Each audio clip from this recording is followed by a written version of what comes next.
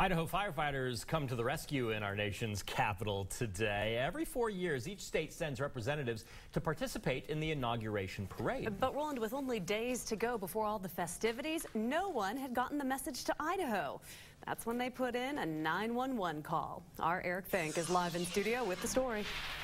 Michelle Rowland, 27 Idaho firefighters were on duty today. They were carrying neither hoses nor ladders, instead ba bagpipes and drums, marching down Pennsylvania Avenue, playing for the president. It's become as traditional as taking the oath of office on Inauguration Day. The Inauguration Parade, with performances from select Americans representing each of the 50 states. It is so cool to be here representing Idaho. I can't believe that uh, nobody had put in to do this.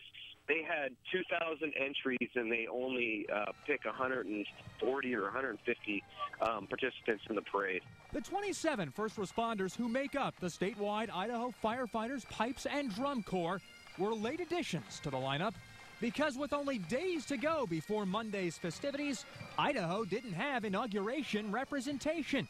So after accepting the humbling call to partake in the parade, these men put their bagpipes and the weight of our state on their shoulders, carrying more than their instruments on this historic mile and a half march down Pennsylvania Avenue. After getting to D.C. Saturday morning, the firefighters from the 208 needed little introduction. Apparently, there was some article written here in Washington that had to do with some firefighters from Idaho. So the first night when we were actually in D.C., everywhere we'd go on the subway, if we had fire shirts, people were stopping us, asking if we were the band from Idaho that was coming here to play. They played for the president in the afternoon and secured tickets to the ball in the evening. This part of Washington, D.C. is packed with people walking up and down the streets in beautiful dresses, tuxedos. An amazing experience for these first responders who, when their nation called, they came on duty. It is the biggest honor of my life. It is huge.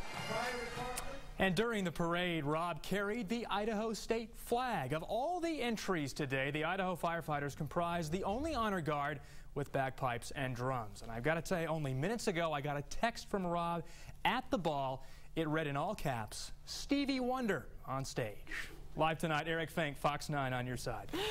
Uh, well, the Boise Fire Department has posted quite a few pictures, as you might imagine,